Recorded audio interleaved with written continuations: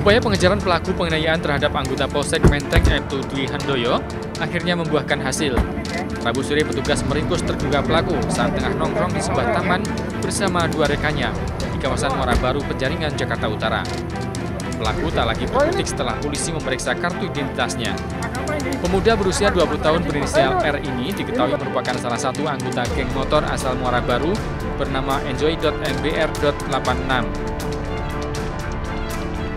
Menurut Kantreskrim Polsek Metro Menteng, Kompol Gujari Luhu 5, geng motor yang bermarkas di Muara Baru ini selalu berbuat onar dengan berkeliling Jakarta pada dini hari dan memanfaatkan media sosial Instagram untuk mencari musuh sesama geng motor. Namun geng motor ini selalu menyerang siapa saja yang ditemui di jalan dengan motif pembacokan secara acak tanpa merampas barang berharga.